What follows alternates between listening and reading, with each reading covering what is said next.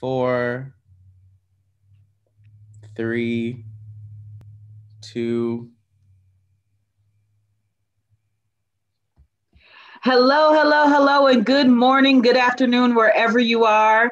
My name is Quiana Dene Perkins, and I am one of the co hosts on the VUU, which is the Church of the Larger Fellowship's weekly video cast. Um, I see my fellow folks giggling. Um, I'm excited today. We're going to talk about Kwanzaa, um, which is, I'm gonna not tell you nothing. I'm gonna let you learn all about it. Um, and in that, um, I just wanna let you know I'm here in um, Ann Arbor, Michigan. And it is maybe a little bit snowy. There's like a thin layer. It's still pretty. You could still take your dog on a little romp. Um, I will be staying on this side of my door. Um, but I want to turn it over to one of my co-hosts so they can share a little bit about where they are and what's going on for them. Aisha. Good morning, Quiana Dene. Uh, I'm Aisha Hauser, and I'm in Seattle, Washington, where it's rainy and dreary. It's a typical December here. Um, and uh, looking forward to today's show. I'm so excited. Chris Rivera. Hey everyone, I'm Christina Rivera. I'm coming to you from Augusta County, Virginia, and where it is snowing and sleet and ice and all of that kind of good stuff, which means course, here in Virginia, we just don't even know how to deal with that. So everything comes to a complete stop, and you know, and all of the bread is gone from the grocery store shelves. Um, even though you know it, the snow will probably be gone tomorrow or day after, um, but it is it's it wasn't the pretty kind of snow. It was just the really sleet, rainy, kind of rainy yucky snow.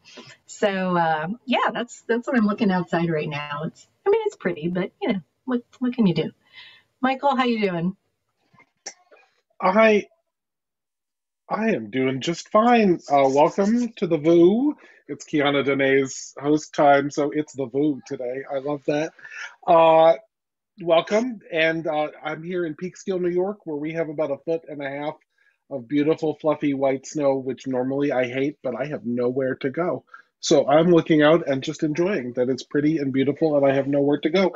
It is a snow day from all remote school today here in Peekskill um, because the kids don't have to get to school, so they might as well have the day off.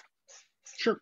So it's a snow day from all remote school, so you might get to meet the seven year old at some point if uh, her grandparents on FaceTime get tired of her. But it's uh, it's all good, and it's great to be here. And Tanner Linden is behind the chalice. You want to say hi, Tanner?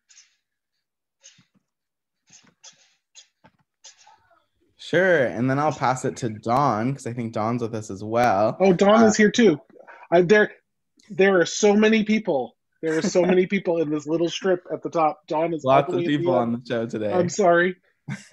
Uh, I'm Tanner Linden. I'm the tech for The VUU. So I will be taking your comments from YouTube uh, chat and putting them over here so our hosts can answer live. So please comment in the chat, leave any questions. And if we don't get to it on the show, um, I can uh, ask our host to follow up and we'll, we'll get some answers for you. So um, any questions, just drop them in there and I will pass it to Dawn. Thank you, Tanner. Tanner, I want you to um, first make us all hate you just a little bit and tell us about your weather? Um, I am in Southern California, uh, so no snow for me. Um, it's probably like a nice 62 right now. Um, and uh, that that's it. It's sunny, but like not too sunny. You know, it's like that overcast type of sunny where the marine. Okay, oh, it's not too that's sunny. Enough. It's just like a little. Just a little sunny. All right, that's enough. Thank you, Linda. Thank you, Tanner. Oh God. I'm Dawn Fortune. Um, I'm here in South Jersey um, at the shore, about 15 minutes from Atlantic City. And we didn't get any snow uh, we did get a bunch of rain, um, and now it's just rotten cold. Um, and I'm, I'm a little bit jealous seeing all my friends with their pictures of, look, we've got snow. And I'm thinking, oh, sometimes I miss it and sometimes I don't. Today's one of the days when I miss it. So I'm going to hand it back to Quiana for uh, starting us off this morning. So, um, thank you, Dawn. I want to have a little PSA for just a second on the side over here. Um, recently, I've gone through a spiritual and emotional transition, and my name is what I want to be called is Quiana Dene. Um, it is a learning process. We will all go through it together. I will change it where it needs to be changed, slow and steady. But I just ask that going forward, folks call me by Quiana Dene because that is the name I want to be called by. So that is my little PSA. Um, I do want to give a brief introduction to the four folks we've asked to come into our space today. If I say your name wrong, I apologize. I get nervous and then vocabulary gets a little wonky. Um, we were able to find four amazing folks uh, across the diaspora, across the country, who are willing to come talk to us about Kwanzaa today. First, we have Ghana Amani, um, and they are. Can you tell us where you're at, Ghana? Absolutely. Am I on? You can hear me? Yeah. Great. Uh, Ghana Imani, and I am in North Jersey, and I got all the snow that Dawn did not get. So I would love for Dawn to come up and take all of my snow away. Thank you very much. then we have Ayana, who, Ayana, will you introduce yourself and share where you're at? Sure. Ayana Kasi. I am right outside of Atlanta on occupied Creek land. And yeah, snow. I don't I don't know her. always she don't come to your neighborhood. I love it. Next up, we have Marcus, and I am not going to mess up your last name, Marcus, but I'm so glad you're here. Nice to be here. Uh, Reverend Marcus Fogliano. Uh, I use they, them, their pronouns uh, based here in Chicago, Illinois, uh, and we are getting light, fluffy, little bit of snow, not what you're, what's happening out on the East Coast. And last but not least, we have Takiyah Amin. Where are you calling in from, Takiyah? Hello, I am Takiyah Nur Amin, and I am currently in Wooster, Ohio, where it is snowing, but I'm originally from Buffalo, New York, so snow is not a problem for me. That's right. That's right. That's right. Well, we're gonna get this party started, y'all. I the first question is what is Kwanzaa? And I'm gonna let the floor be open to any of our guests who want to share. Uh, it looks like Miss Takiyah, you want to go first? I'm happy to share. Uh, Kwanzaa is a celebration of Pan African cultural heritage, founded and established in 1966 um, through the work of Dr. Maulana Karenga, who is a part of the vanguard of Black studies. Um, I think it's important to say that Kwanzaa has been around now for more than 50 years. So while it may be someone's first Kwanzaa, um, every year is someone's first Kwanzaa, right? Which is wonderful and beautiful. But I think it's really important to lift up that um, the celebration has been around for more than five decades now, almost 60 years. And while it may be obscure uh, to some or unfamiliar, it is celebrated by thousands of people all around the globe, wherever African American people have taken the observance. Um, as a celebration of Pan African cultural heritage, Kwanzaa is a time for people of African descent to lift up and celebrate the best of our shared culture. Um, it is not meant to diminish the cultural differences that exist amongst African people in the diaspora, but it is a time to lift up and celebrate um, our shared history, our shared heritage, and the best of our cultural reality as we recognize our ongoing global struggle for liberation. So that's what Kwanzaa is. That's what Kwanzaa has been. Um, I should say again, Kwanzaa was established in 1966. My family started celebrating in 1967. Um, the city that I'm from, Buffalo, New York, has been having public citywide Kwanzaa celebration since 1967. Um, so I've never had a year, I am 41 years old, I've never had a year of my life where Kwanzaa was not the tradition in my community and the tradition in my home. That's so rich. Thank you so much. Is there other folks who'd like to add to that that history piece or give some more around that? I'm I just watched a video that uh, Ghana produced um, that was actually really amazing. It's like this really like eight minute journey into Kwanzaa. Do you want to contribute to that, uh, to, to what Ms. Takiyah just offered? Why? She said it all. She took it from the top to the bottom. I mean, that was everything. Um, no, she. I also was raised with Kwanzaa. My name Ghana Imani comes from Kwanzaa. Imani being the seventh day. Um, there's not a year I didn't celebrate Kwanzaa. However, I didn't always live in areas that celebrated Kwanzaa, depend on where I lived.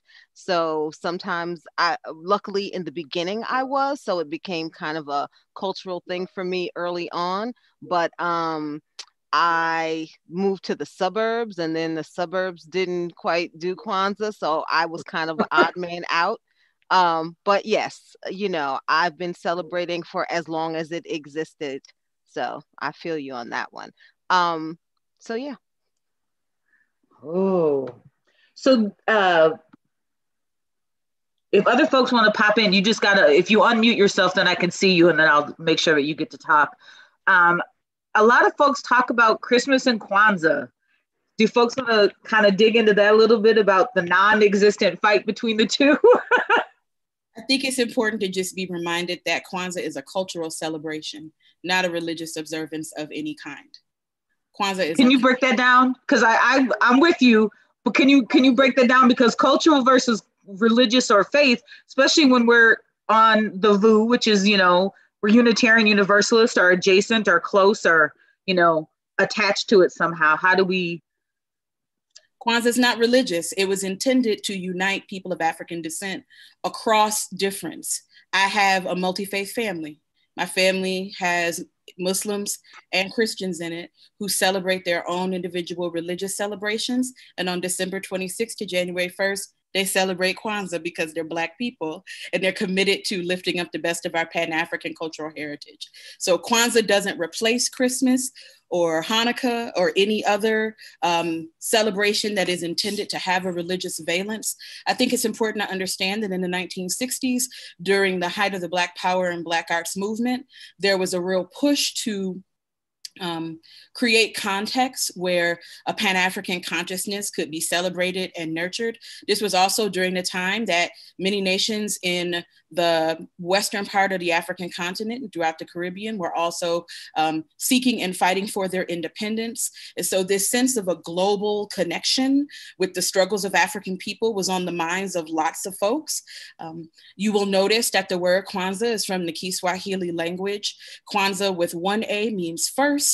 Kwanzaa with two A's, you find that meaning to expand, meaning first fruits or first fruits of the harvest because the time of year when the celebration happens is typically a harvest season on the continent. And while we're here in the snow, many of us, and not necessarily reaping a physical harvest, it's the time to celebrate and lift up the cultural harvest of what people of African descent have given to the world together. So, whether you consider yourself a religious person, a non religious person, or something in between, again, Kwanzaa is a Pan African celebration um, centered in the lives of people of African descent who choose to lift it up and observe. Thank you, Ayana. I think that also a key here is that the way you celebrate is just so different than Christmas. You know, Kwanzaa, at least from my experience, is a celebration of centering Blackness and centering Black joy. And I think that you know, this year, especially, it's vital to center Black joy. All those who are going to be celebrating Kwanzaa this year, you know, you've really got to dig into the joy, pour on the joy wherever you can. Um, so it's about family feasting, it's about supporting Blackness, it's about your personal history, it's about communal history. You know, I, I would say that the most important thing for my family when we celebrate is to have time together. You know, we we love to eat together and we probably have five meals together a week as you know our our pandemic pod but you know this is important the cooking together the going through the tattered old um, cookbooks and you know, selecting everyone's favorites and incorporating everyone's voices in the planning.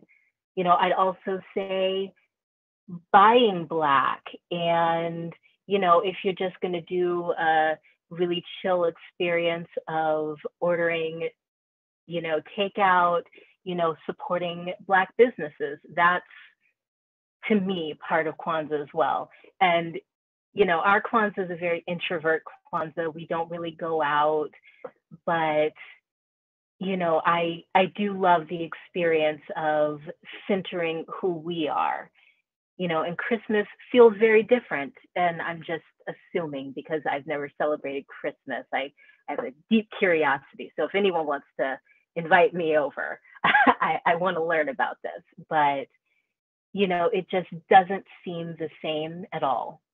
You know, and even solstice celebrations, Hanukkah, it's just different. You know, it's, a, it's about blackness, really. Friend Marcus? Yeah. I, Reverend Marcus?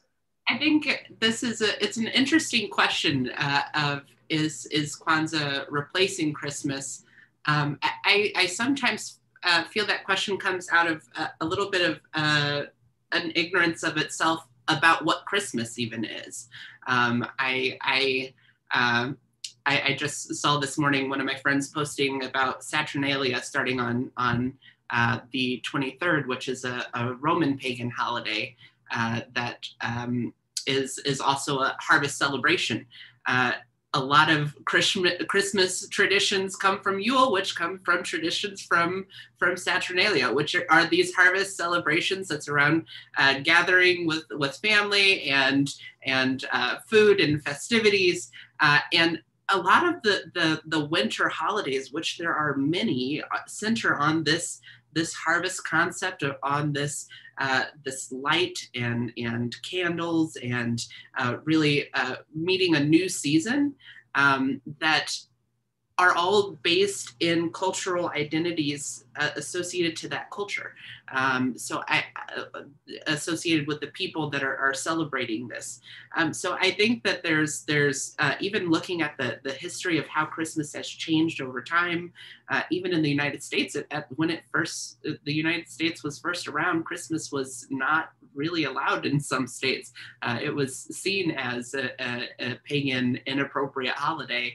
Um, so I, th- this this notion um, that uh, it's something that can be replaced by another tradition that's using uh, some of the same um, aspects of that that that winter uh, light, warmth, festive harvest uh, uh, feeling is kind of is is interesting to me. Um, I think that it's it's very uh, important that we remember that that Christmas is not the only the only uh, winter festival uh, that's taking place at this time. Um, that that uh, that notion that Kwanzaa can replace it is kind of silly. well, and I think for me, there's this buy-in to capitalism around Christmas that's really, really, really, really hard for me. Like as a culture, I've had a lot of economic pressure to make sure I get my kids a gajillion things and make sure that they have all of the stuff.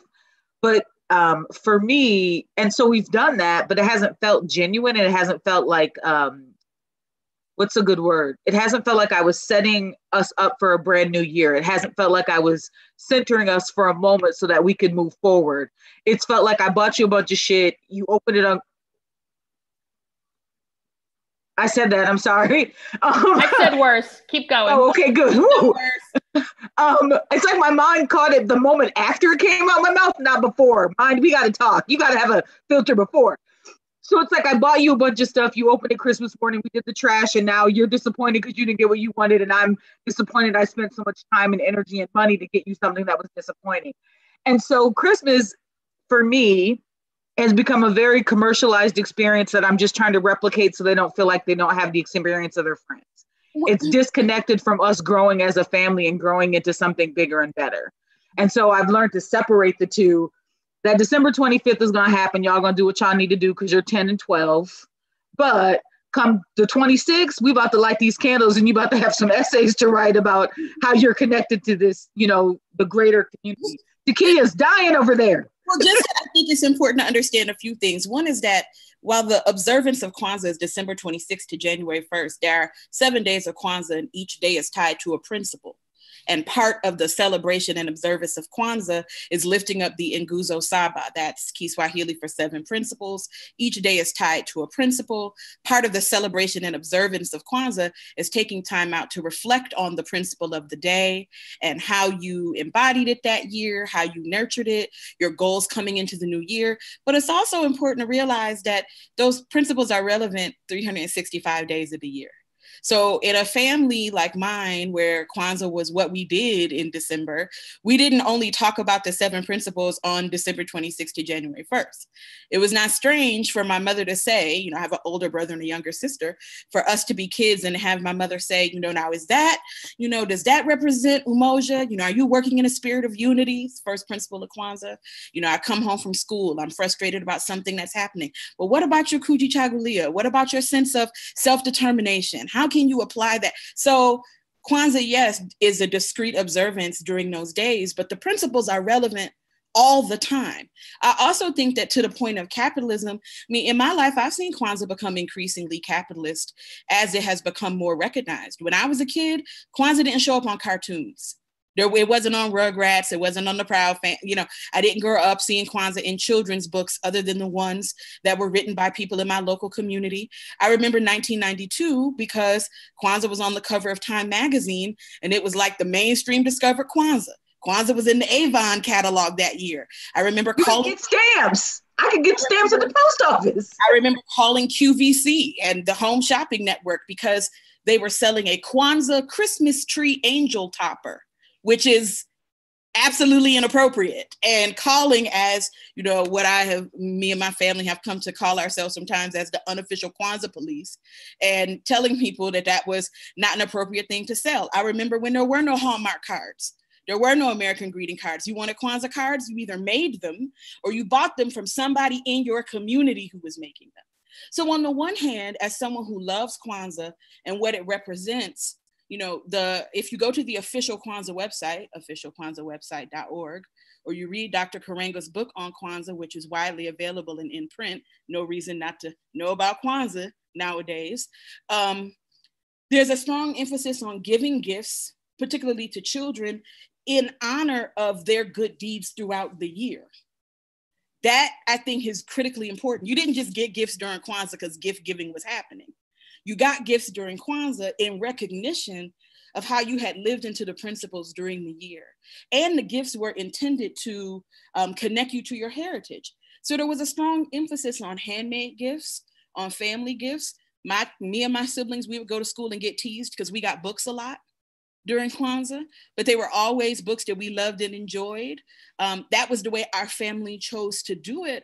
But it was really about lifting up and em- embodying those principles. So now you can see Kwanzaa on Etsy. You can buy Kwanzaa wreaths and fabric and bows. And on the one hand, I'm glad to see that that growing recognition, but I hope it doesn't take away from the initial intention and spirit of Kwanzaa, which was really about bringing Black people and Black community together to center our heritage, our joy, and our struggle. And they did have Rugrats on Kwanzaa, you know. They had a Kwanzaa Rugrats. That was a good one. it was the Rugrats and the Proud Family. And yes. Kwanzaa's been on Sesame Street. I mean, on the one hand, I love to see respectful representations and celebrations of Kwanzaa. But I will still call places and tell them if their candles are backwards on the Kinara, or if something is missing on their Kwanzaa table, or if I feel like there's been some kind of gross misrepresentation, because Kwanzaa belongs to Black people. And no matter how commercial it becomes, I think we have to continue owning our cultural celebrations and what they mean to and for us. So I have two two questions popping up. One, I want to go to, to Reverend Marcus because uh, Takiyah brought up something important, which is it's not just something you can celebrate December 26th through January 1st. Can you talk a little bit about how you practice it? And then the question, the other question I have behind that, which isn't explicitly for you, is what are some ways folks can celebrate Kwanzaa? So let's get into some practices or things that are beautiful about Kwanzaa that when it's celebrated, no matter what time of the year, are just beautiful. So, first, Marcus, to talk about how they celebrate, and then we'll open the floor back up.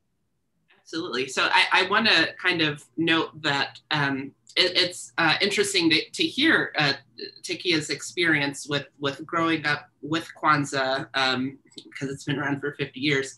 Uh, I've only uh, really started uh, engaging with Kwanzaa probably about five years ago. So my my introduction to Kwanzaa has been kind of this this uh, black capitalism frame within my local community in Peoria, Illinois, um, which always seemed kind of problematic for me. Um, so I, have I've the, the spirit of Kwanzaa is something that I've really uh, personally uh, uh, adopted um, and uh, trying to uh, see how the, the, the principles um, and um, if the principles even are fitting the need that I need in this moment and that the community needs in this moment. Um, I, I, know that some folks really struggle uh, each year uh, around um, some of the allegations uh, against uh, Dr. Karenga and, and uh, from in his relationship with Kwanzaa. Um, so really making this a, a, a, a, festival and holiday of, of Black people and not about him um, is, is important um, and vital.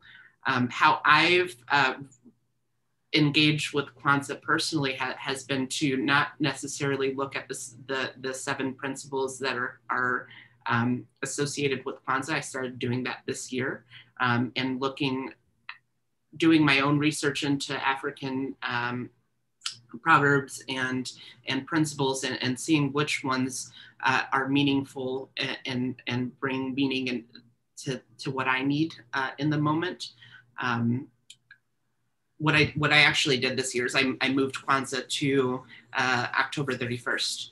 Um, and uh, I will do it again at the end uh, uh, on the actual time of Kwanzaa. But with the election coming up, I, I felt my spirit uh, feeling very low, uh, and I needed to focus on some principles. And um, I, I adopted Kwanzaa to to be associated with um, uh, All Hallows Eve, uh, All Souls Day, and All Saints Day. Uh, so those first three days, those first three candles, really uh, thinking about my ancestors, my personal ancestors, uh, the uh, communal ancestors, and and the place that that my ancestors have called home. Um, and then on the fourth day, a about being in the present um, and what my my uh, life, uh, uh, what what um, I need in the present. And uh, the the green candles, the the last three days, uh, were about aspirational um, being there for the community uh, to create. Um, what we need for, for the people that will call me ancestor someday. Um, so these these are some of the the, the things that are built into the spirit of Kwanzaa um, that uh, I, I, adapted personally uh, to to fill a, a, spiritual need that I needed at, in this moment, um, specifically around the election time. Um, so I, I, think that that the spirit of Kwanzaa is, is uh, something that can definitely live outside of of um, the the, the specific traditions. Um, I think that that's something that uh, Unitarian Universalists love to do, uh, to to to uh, make our traditions meet our our the the need of the the the current culture. Um, and, but hearing uh, Takiyah talk about the, the spirit of Kwanzaa has been um, really moving for for me and and trying to separate um, what I've I've come into, which is kind of a capitalist Kwanzaa and um, and uh, a, a controversy around the founder. Mm. Those, thank you, Marcus. Um, I wanted to just add really briefly before we go into to actual practice stuff. One of the things I've been trying to do is flip the calendar, and by that I mean I'm trying to use Black August as an opportunity to to to, to ground myself in my present I'm trying to use Kwanzaa as a way to ground myself in what I want to be the future. And I'm trying to use Black History Month as a way to ground myself in, in my ancestors and my history. And then Kwanzaa and Juneteenth is kind of these button button moments of like where community can check in with those. So definitely trying to as you were saying, Reverend Marcus, trying to like reevaluate and using tools that I know are effective at times that when I need them, as opposed to when the world says I'm supposed to do them. like, nope, I need this now. I'm gonna go get this now. Um, and I think that's really important that just to, I guess I just want to call out like, as Black people and people of the diaspora, we've consistently had to find ways to make a way, right? We have to make a way, and we might not be able to make a way on December 25th, but on January 1st, when that paycheck comes, you're to get what you need. You might not be able to take a big rest in August, but come September 1st, you might be able to take a two week vacation. So there is this call and this pull, I think, to use the tool, like to get the biggest tool basket possible and use it when you need it, not just when it's a set time. So to speak to that a little bit, um, Ghana, can you speak to a little bit about can uh, about the place setting, the candles, and some of the activities folks can do during this to observe and truly celebrate Kwanzaa? Absolutely. There are so many things you can do to celebrate. And the, the great thing about it being Pan African is there's not one particular way. It's a history, it's a celebration of our people. Um, we in the community, in the Black community, are always struggling with what to name ourselves, this is the time to name ourselves and call ourselves what we are and what we want to be. So when I say Black, I'm talking about Caribbean people. I'm talking about anyone whose ancestors were from Africa and got dropped off wherever they got dropped off, assimilated into whatever culture they got assimilated to because they were forced to, and then later realized wait a minute, my grandma, grandma, grandma, grandma didn't do that. What did they do? And that's what it's about reclaiming um, what was stolen from us. Uh, there's a huge difference with immigrants that came here and got to keep their language, keep their name, keep their customs, even if they had to hide them in the house and be a certain way. America is so much about assimilation. That's also what happens to these holidays. They get assimilated, um, and we have to save everything. Um, and I know this wasn't the question, but I just want to touch really quick on Thanksgiving because Thanksgiving is trash in its real form. Like if you really go to the pilgrims and the natives, it's trash. And then there was another form of Thanksgiving later that became what was championed um, as our current Thanksgiving. That had nothing to do, had more to do with the Civil War and the countries coming back together, North and South. Um, and there was a woman who spent 35 years championing Thanksgiving to what it is now. So, what we all do to reconcile is go, mm, it's about gratitude. What am I thankful for? I'm grateful for my family, my health. And we sit around the table and eat that good meal and think about it. It's the same thing. I don't think about Karenga. I'm grateful for the discovery, but I don't think about him personally when I embrace the principles and the celebration.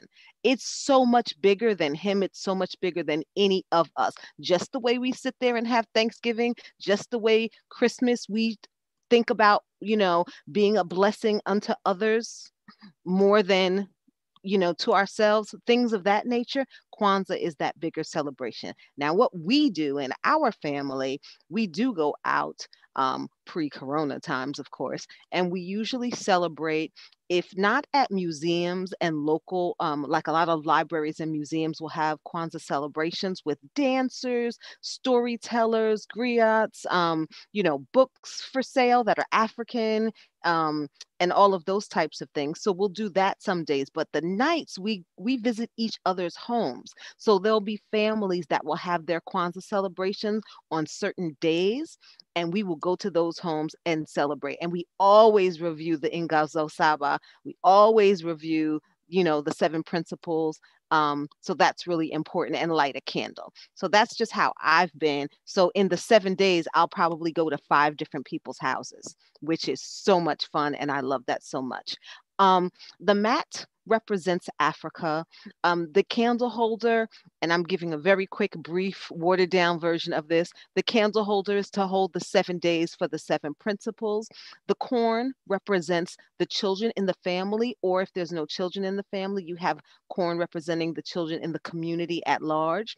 Then there's the fruits of the harvest, since it's called first fruits of the harvest. So you literally have Um, we put a lot of fruits down. Sometimes we put squash and potatoes and things of that nature as well. That also represents the people who who planted the harvest.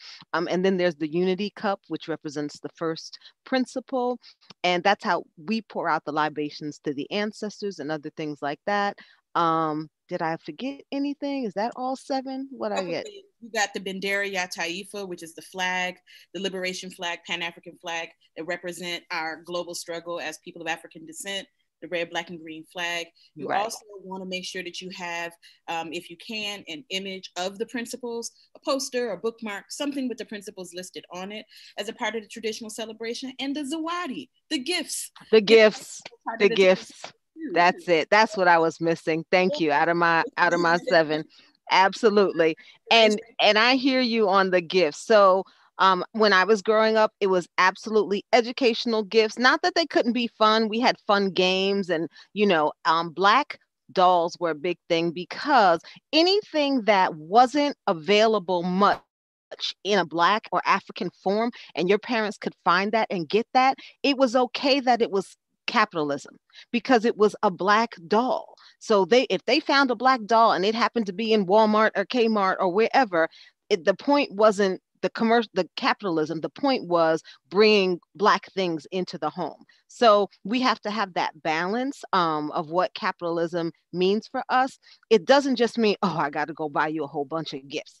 What it means is giving you something intentional. I remember one year I made coupons and I ma- made for the family like different chores or different hobbies. I'll bake a pie with you, or I'll help clean your room, or I'll help do things. So that was my gift, this little coupon book. So a lot of times it's homemade gifts. Um, but yeah, the capitalism thing, you have control, just like you have control over Christmas.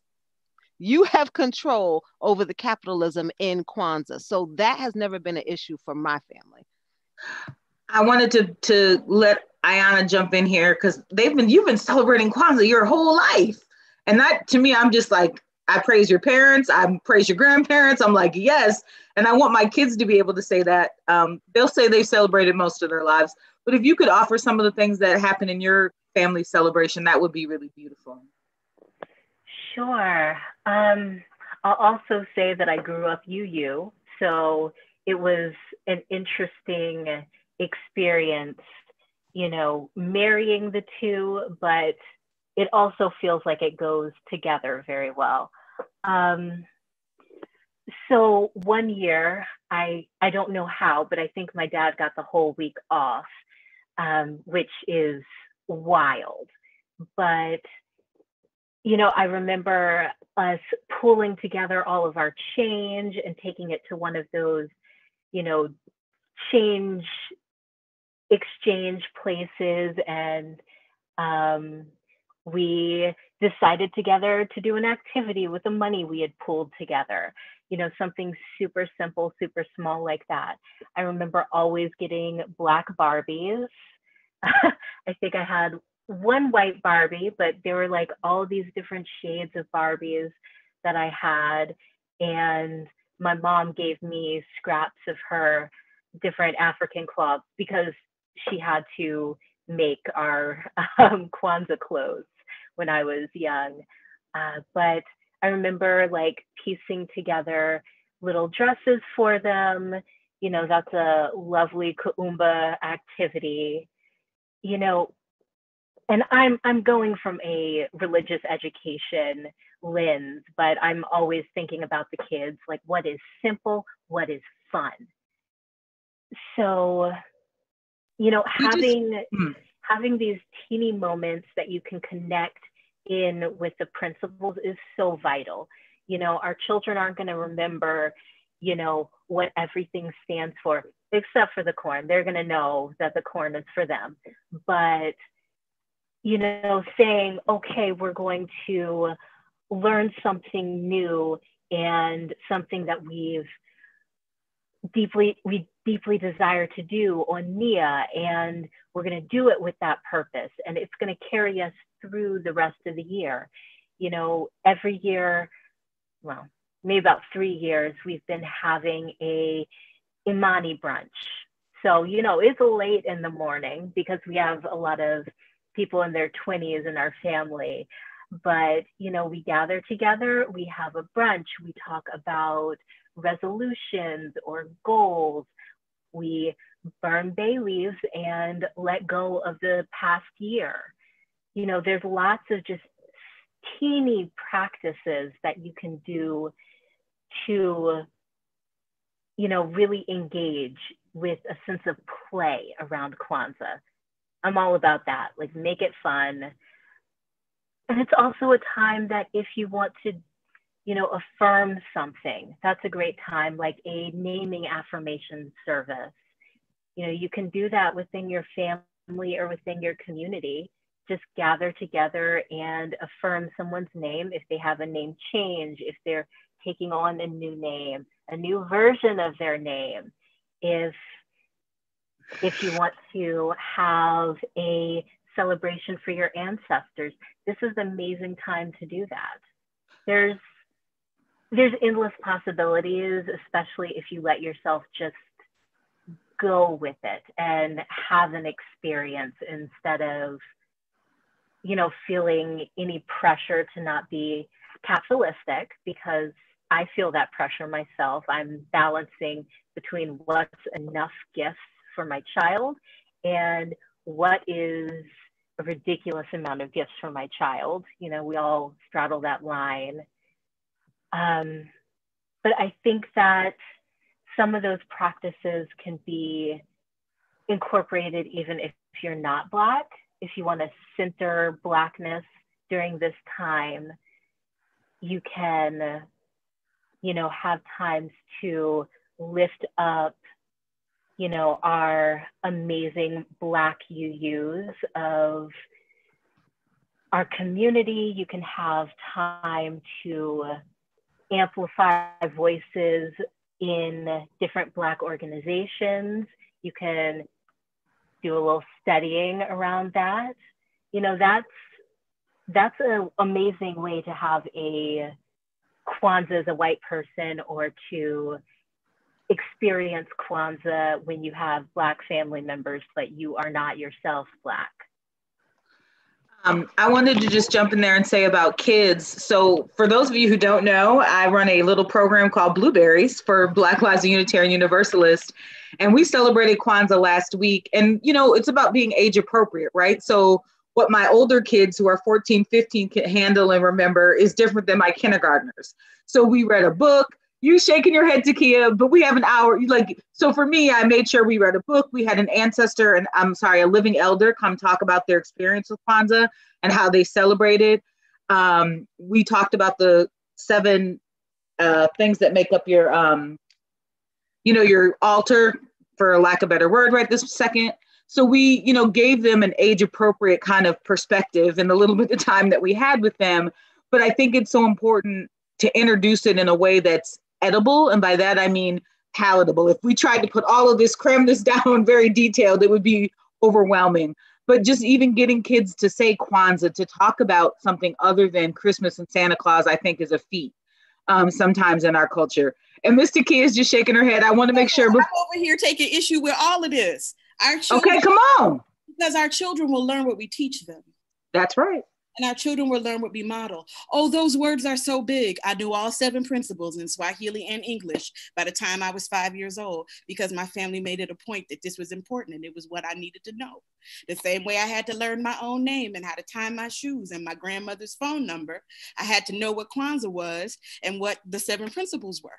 So this whole like dance we're doing around children and young people and bringing them in and what is age appropriate.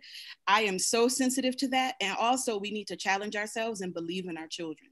One of the things that Kwanzaa asks us to do is to believe in ourselves, believe in our ancestors, and believe in the spirit that grounds us, that spirit of life, right? And I think one of the practices that sometimes gets overlooked because it can be seen as less fun is let your children be a part of setting up the Kwanzaa table.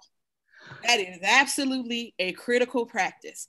The same way that people might let their children bake cookies for Christmas or be a part of developing a Hanukkah table setting or putting Christmas lights on a tree, cleaning the space where you're going to put your Kwanzaa table, going over the names of each thing that goes on the table, explaining the objects. You know, Kwanzaa has a lot of flexibility in terms of the things you can bring to its celebration, but there are also certain practices that are as they are for a reason. For example, we light the black candle first, and then a red candle, and then a green candle, and then proceed red and green for the remainder of lighting the Kinara. Why? Because everything we do starts with Black people, which is what that Black candle in the center means.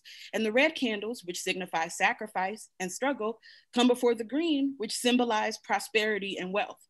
So there are internal logics to Kwanzaa that might be less obvious, which require us to study and continue engaging our young people so that they will not only carry the tradition forward, but also have some ownership of it. So let me back up. Let me own what I was saying, and, and we can come back a little bit. But it, we're getting close to the end of this hour. In the context in which I have these children, which is literally 60 minutes, maybe 75, there is a little bit of content. There is a, a chunk of content I can provide, knowing that it may or may not be backed up at home. Doing online education for children is intense, it is hard, and we have kids who are young as kindergarten, and then I have somebody who's 17. So the level of so I have to make sure that we're delivering things that are age appropriate because there's just some things Mina's not going to get. She's seven years old. And there's, you know, so I guess what I'm trying to say is we are doing our very best. Let me back up. I'm doing my very best with the steering committee that I have to bring Kwanzaa to Black kids who maybe have never experienced it before. And it may have not been perfect, but it was the best that we could offer given the time, the other jobs that we all have, and the other things that we are trying to do in our community. So I guess I actually the reason I came back around to this was just to say that we have an obligation to introduce Kwanzaa to our children as much as we are available. I've never owned a Kinara, but my kids know what Kwanzaa is. I finally ordered one and it's going to come in the mail. And you're right, I am their first spiritual role model. I am the person who they need to learn things from. So I'm doing my very best, but I can't be everybody's mama and, and blueberries spiritual role model. I'm trying, I'm doing my damnedest, but it's not um it is it's an intense amount of time. Um, Ayana has her hand up, and then we want to move into how folks can celebrate who maybe aren't what who aren't black or from the diaspora. And I brought that up particularly because I have some families who their children are black, but their parents are not. And I don't want them to miss out on this cultural celebration because their parents aren't black. Um, so Ayana is shaking their head a bunch, and then we'll open the floor back up. I want to name that I did grow up with a very strong ritual around Kwanzaa, the candle lighting. You know, I, I knew all the words and, me- and meanings as well. You know, my daughter's learning um, as much as she is emotionally available. But, you know, there's everyone has a different entry point, And I I think that in the best circumstances, it would be ritual first, act, family feasting second, activities and fun and play third. But I think that, you know, especially in UU spaces, sometimes you do have to lead with the fun to, you know, pull people into the educational component. You know, and there there's a pretty solid difference between you know what you do in your own home how you celebrate and you know communal celebrations. I think that communal celebrations should be more fun. There should be an ability to play and experiment and try things that are wild and maybe out of the ordinary you know, maybe one year you're just doing book club, Kwanzaa book club, and the next year you're bringing in artists from the community and whatever you can imagine. But I will agree that the rituals are what I remember from my childhood and the food. But the ritual is really solid. I could probably do it completely uncaffeinated and not miss a beat. And I also think that the setting up is a really can be really fun. Put on some music and you know talk about why you're doing each thing. Kids love conversation. Kids love to talk. It, it's just a fact that I have experienced and, you know, talking them through everything and having them discover the logic of Kwanzaa for the first time is magic. It, it's Kwanzaa magic right there. And you will experience the, dare I say, Kwanzaa miracle of, you know, their heart expanding and really taking the ownership of Kwanzaa. So fun, yes, ritual, yes.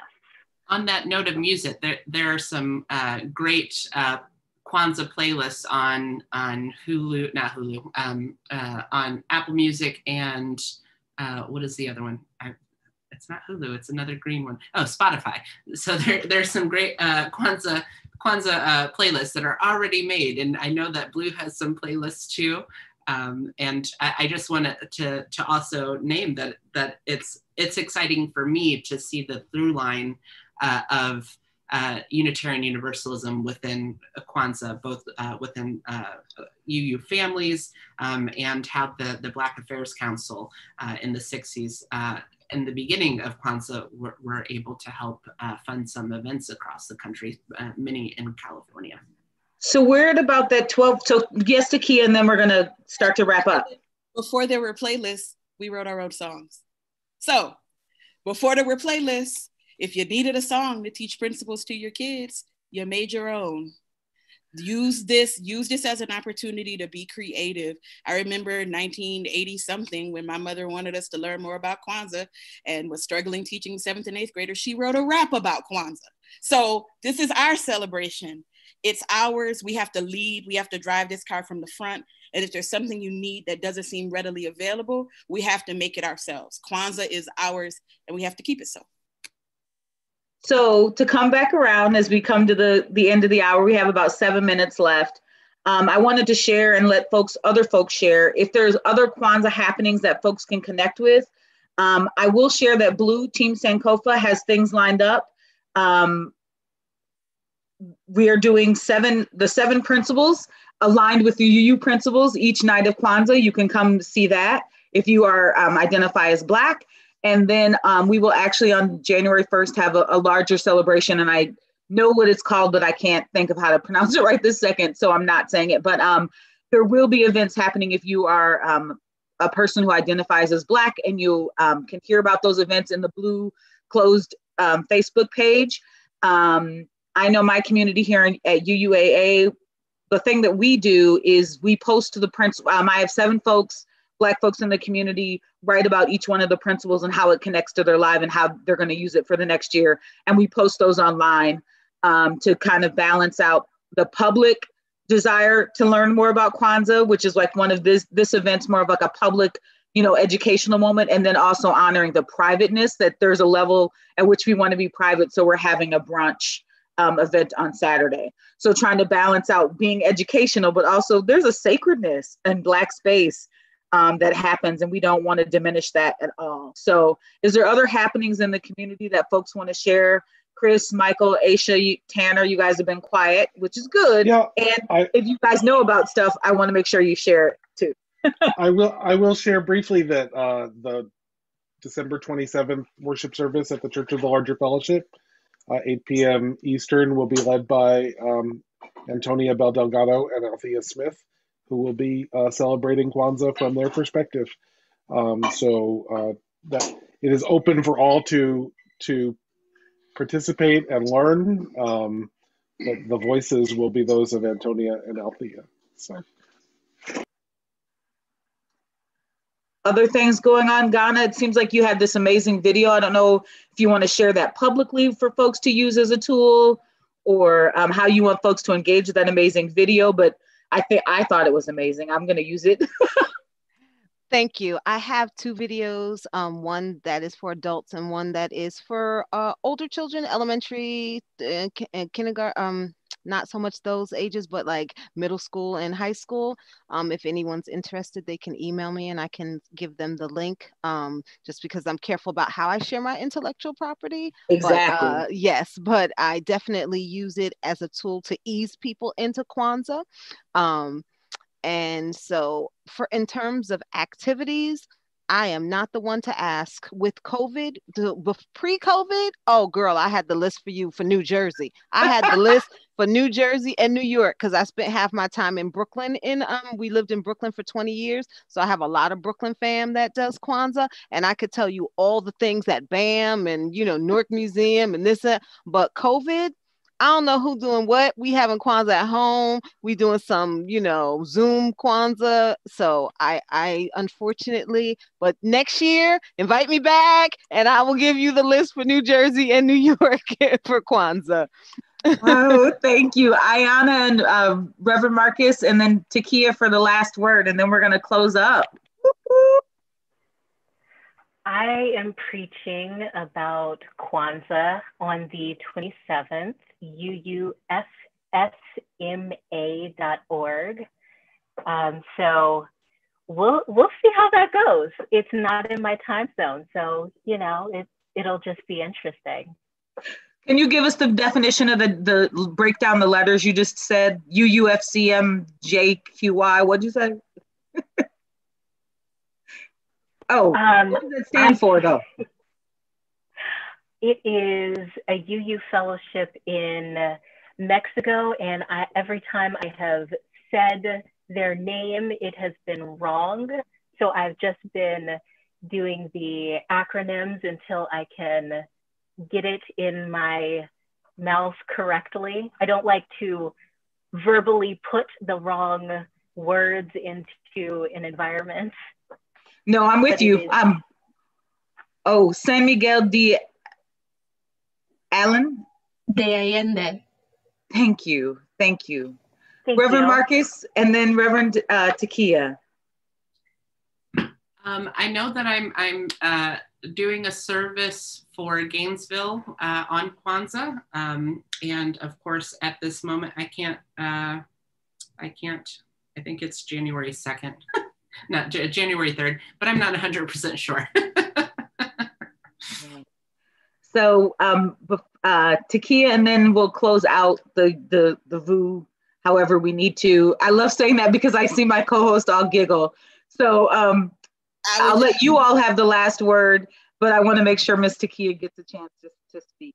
I would just say very briefly, um, we already lifted up the BLUU programming that's happening for Kwanzaa. I would just say that for non-Black folks or folks who don't identify as Black and members of the African diaspora, Kwanzaa is a great time to practice decentering yourself and lifting up um, uh, critical commitments to Black people and Black community, reflecting on what that means for you in your own families and in your own communities. It's a great time to educate yourself, to support Black businesses, and to be a guest in someone else's celebration. My whole life, we've had white folks, other folks be a part of my family's Kwanzaa celebration.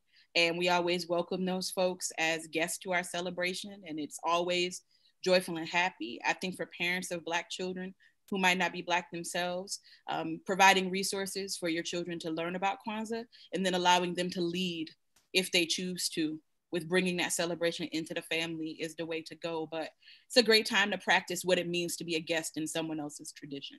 Mm, thank you. So, um, Chris, Michael, or Aisha, did you have anything you wanted to add? Thank you for this. My dogs are going crazy. So I just want to say thank you, everyone.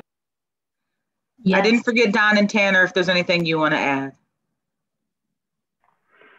This is not a time to center my white voice, but thank you. Okay, now we will end with that. This is not a time to center my white voice. Thank you all for being here with us. We love and appreciate you. We are on um, rest next week and the week after that. So we're on a two week break so that we can take care of ourselves and celebrate whatever um, Three is week calling break. our hearts. We're not coming back until. No, no, wait. Yeah, it, it- we're taking a three week break. Three week break. Hey, I just got a vacation day. we'll be back the 14th of January. Whoop, whoop. Well, we'll see you guys then. Much love and appreciation to all of our guests and to my co host team. I love you.